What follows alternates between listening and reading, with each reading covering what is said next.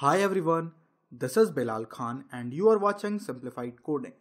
In this video, we will finish the panel that we are creating and I will publish it to Firebase hosting so that you can check it out from the link that is given in the description of this video. Now our task here is to send the message with title and body to the selected users. And for this, I am going to use the legacy server protocols.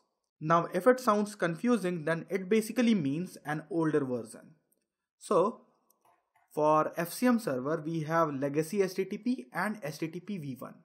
But as we are using plain JavaScript for our panel, we cannot use HTTP v1.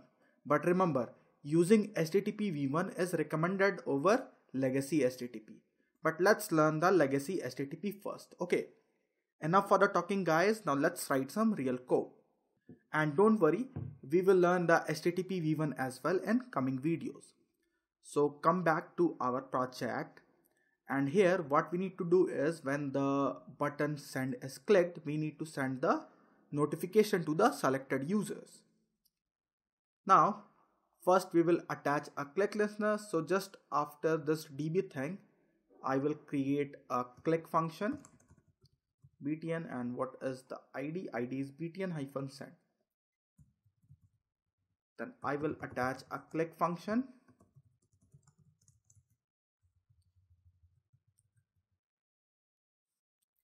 Now here first we will get the input values. So we need the recipient's title and the body.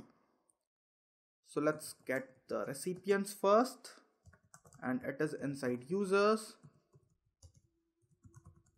then we have title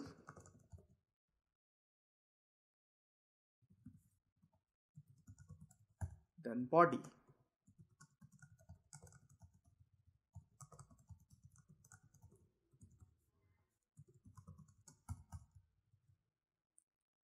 Then after getting all the values, we will create an Ajax request.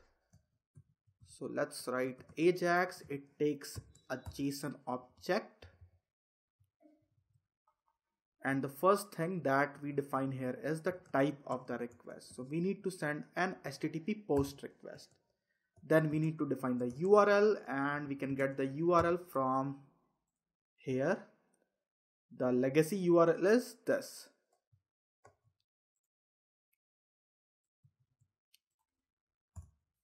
Then we define the authorization headers.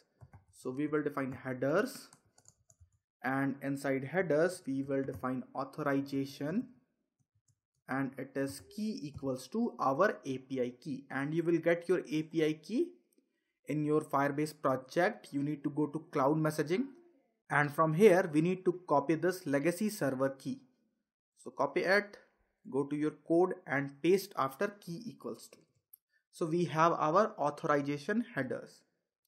Now we need to define content type and it is application slash JSON. Then we have data type which is JSON. Then we need to define the data that we want to send with the request and we will use JSON dot stringify method to stringify the JSON object. So inside the JSON object, first we will define all the registration IDs where we need to send the notification and we have the registration IDs inside this two variable. Then we have notification and for the notification we have title as title and body as body. So we have these two variables title and body here. Now we need a success callback and it takes a function and inside function we will get the response. And from response we can get the number of devices that received the notification successfully. So we will display it in an alert. So send to concatenate with response dot success. And then devices.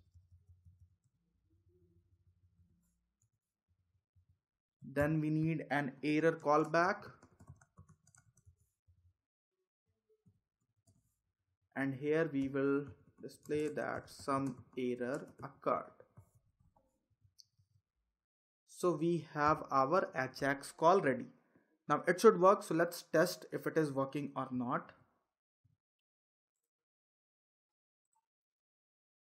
So let's test.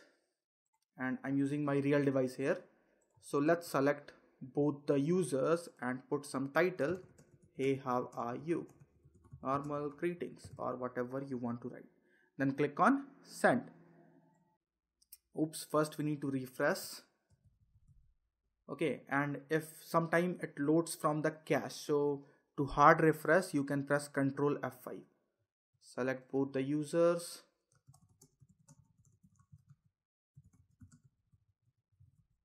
click on send.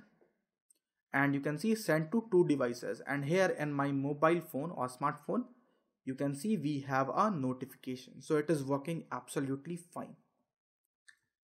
So that's all for this video friends. I hope you found it helpful. If you did then please support me by liking and sharing this video. For any query you can leave your comments in the comment section below. Thanks everyone. This is Belal Khan signing off